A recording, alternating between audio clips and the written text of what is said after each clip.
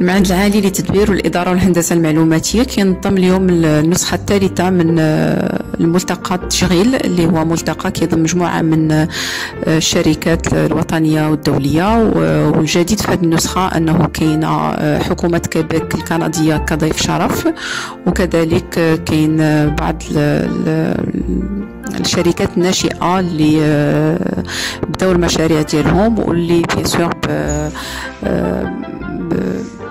بمواكبة ديالنا ومواكبة ديال مجموعة شركات أخرى آه، قادرين أنهم ينشئوا الشركات آه، ديالهم الواعده هذه آه، الدورة كذلك كانت مفتوحة لأغلب الطلبة والخريجين اللي كيبحثوا على عمل قار أو اللي كيبحثوا على فترة تدريب في نهاية السنة.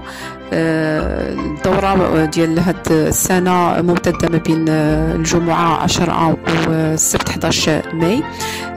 خلال هاد اليومين غيكونوا مجموعة من الندوات مجموعة من الورشات اللي كيهموا الخريجين.